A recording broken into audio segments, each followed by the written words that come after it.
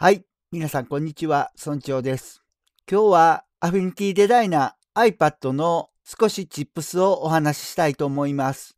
そして今日の撮影は今までは画面をキャプチャーしてそして皆さんにお届けしていたんですけれども一度挑戦的にですねカメラで iPad を撮って撮影をしています。最初これをやりたかったんですけれども天井の蛍光灯が光ってしまってうまくいきませんでした。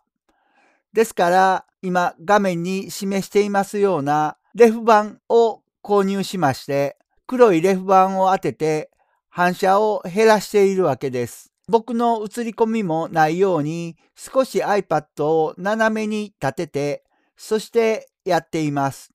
こういう撮影をするのは難しいですね。ベストとは言えませんが、ベターな環境を作ってみることに成功しました。皆さんも天井からの俯瞰カメラで光るものというものを撮るときにはこういう工夫が必要ですので一つ参考にしてみてください。本題に戻ります。今まで iPad 版、パソコン版、それにかかわらず写真を入れるというのはこの右のところのストックですね。これを開けまして、ここに文章を打ちます。例えば iPad と打ちます。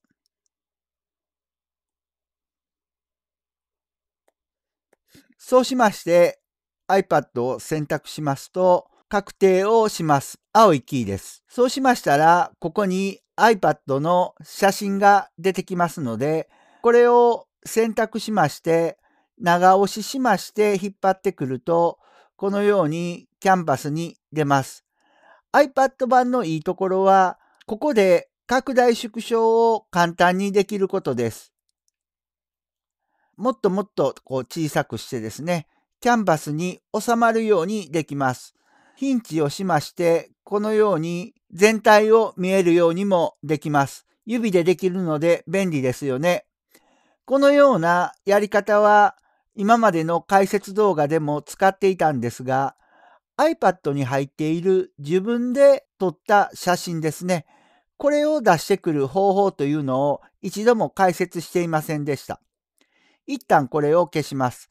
長押しして離します。そして削除を選びます。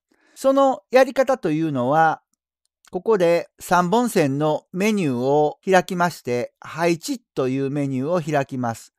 ここで迷うんですね。左側がファイルというふうになってまして、右側がフォトズからというふうになっているわけです。この右側を選択しないと写真がうまく入りません。このように選択しましたら、その他の写真を追加選択というのと、現代の選択項目を保持というのがありますが、これは必ず上をやってください。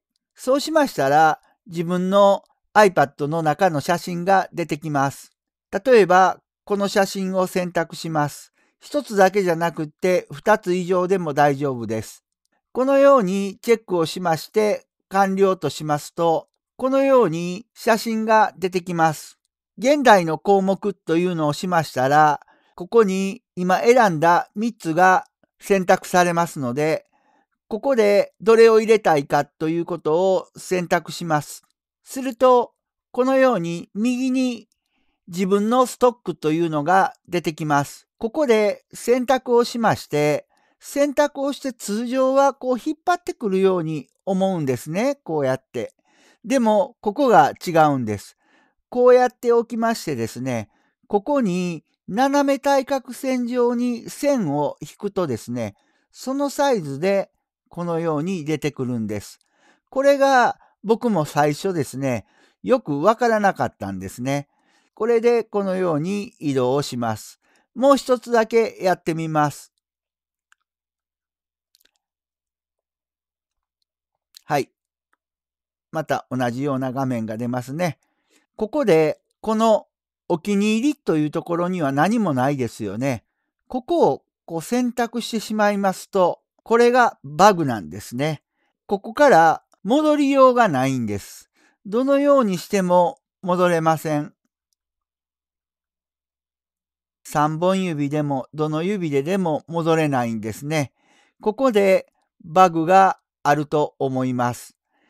こんな時はどうしたらいいかと言いましたら、ホームボタンを押しまして、ダブルクリックしますと、アフィニティデザイナーを終了することができます。こうやりまして、ここでですね、もう一度アフィニティデザイナーを立ち上げると。このようにしないといけません。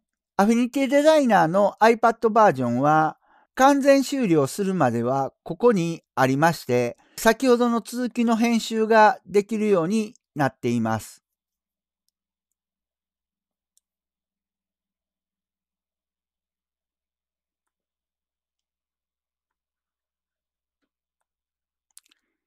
それを踏まえた上でもう一度やってみます。